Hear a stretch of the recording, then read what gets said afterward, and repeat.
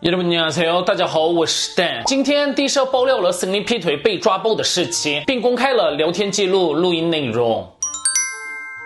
十月四号，根据的社报道，森尼想要在巴厘岛劈腿，但是失败了。的社先是公开了录音内容，在一起，在一起的定义啊，对方觉得你们是在一起了，这么说你就是在拿对方的心取乐，在戏弄对方。不是，我从来没有提过在一起。你给人确信你就是他的男朋友，但是我对我会对 A 某说的。你一直都这样谈恋爱吗？你也知道我最后一次恋爱很久，那其他女人都是轻轻松松的对待吗？森尼无法再继续说下去。他们的对话到此为止。B 某立即打包行李前往机场后，搭上了飞机飞往韩国。这件事情是发生在二零二三年九月二十八号的巴厘岛。地社接着表示，森尼相当精心策划了行程。他的行程安排是这样的：A 某巴厘岛 in，A 某巴厘岛 out，B 某巴厘岛 in，B 某巴厘岛 out。但是事情并不顺利，森尼将与 A 某的约会行程完全套用在 B 某身上，相同的饭店、相同的餐厅、相同的海滩、相同的咖啡馆，最终被 B 某。抓包了，因为 A 某和 B 某是 IG 上的朋友。B 某对 D 社表示：“我看到 A 姐的 IG 现实动态，开始怀疑了我的眼睛，发现森尼和我去过的餐厅和咖啡馆的照片都出现在了他的 IG 上，地点一样，饭店、餐厅、海滩、咖啡馆全部都一样。我瞬间感到毛骨悚然，这不就是说他带着不同的女人，按照相同的行程在走吗？”B 某马上联络了森尼，要求解释情况，同时也联络了 A 某，有没有和森尼欧巴去巴厘岛？A 某回答：“嗯，劈腿就这样抓包了。”了。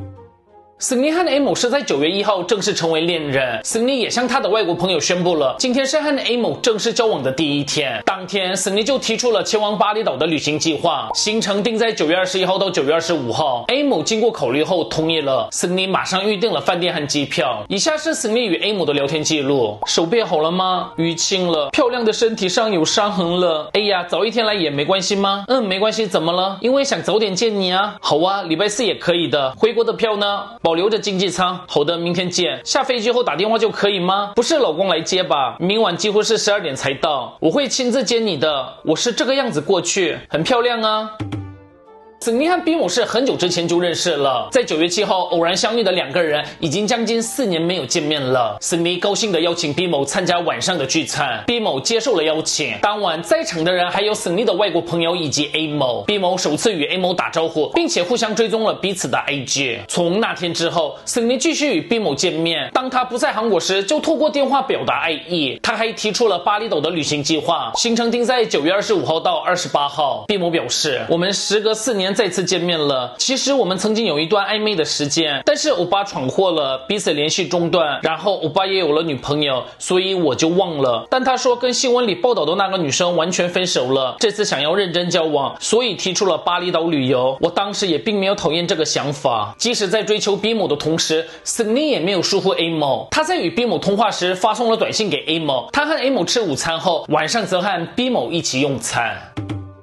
九月二十五号晚上，森尼与 A 某来到了机场。当 A 某完成登机手续后，森尼马上去了入境大厅。他送走了 A 某，马上迎接了 B 某。的社表示，森尼的计划很完美，唯一的失误就是没有开发新的旅游行程。A 某对的社表示：“我接到 B 某的联系时感到非常傻眼，饭店、咖啡厅、餐厅、海滩全部都完全相同，只是换了女人而已。我跟 B 某对了一下行程，同一家餐厅点了一样的菜单，他还推荐了 B 某我说过很好吃的三明。”日落背景照片，甚至连拍摄角度都一模一样。最后，A 某向 D 社说明了 Sunny 的劈腿技巧。这张高尔夫球场的照片是我在二十二号为他拍的，但 Sunny 把这张照片发给了 B 某，说：“我和一些谈生意的伙伴来了，好累呀，很了不起吧？”最后，B 某也对地社表示，二十九号在确认沈丽劈腿后，我马上上了飞机。但是沈丽二十九号去了夜店，他绝对不会反省，也不会改变的。接下来是九月二十八号，B 某发现沈丽劈腿后与 A 某的聊天记录，我真的要吐了。我现在在跟他说话，姐姐要怎么办呢？结果是送姐姐后来接我的。九月二十九号，沈丽与 B 某的聊天记录，真心道歉都来不及了，竟然从开始到最后都在撒谎，把人当成疯子。哇，我这么努力生活。活不是为了受到这种待遇，真的把人要逼疯了。到现在还没有清醒吗？狗习惯到不了哪去。我的道歉是真心的，逼谋啊，从头开始都是狡辩跟谎话，可能还会有其他受害者。你知道你对两个女生做了什么吗？哇，真的太惊悚了！我第一次感到这么生气，快要疯了。我们来看一下韩国网友们的反应，真的太恶心了，可可可，好丢脸！哇，真不知道要说什么了。想要跟他交往的人也不是什么正常人吧？说实话，孙俪劈腿一点都不神奇，反而是有想要跟他交往的两个韩国女生让我更受到打击。一般来说都会觉得受害者可怜，但这次一点都不觉得可怜。都知道他对别的女生们犯下了什么样的罪，还喜欢了他提供的金钱等一切吗？竟然跟那位他在捉奸的时候尽全力伺候的女友分手后做了这些事，真的很惊讶。全国民在骂他的时候，除了家人，是唯一真心帮他的人，不是吗？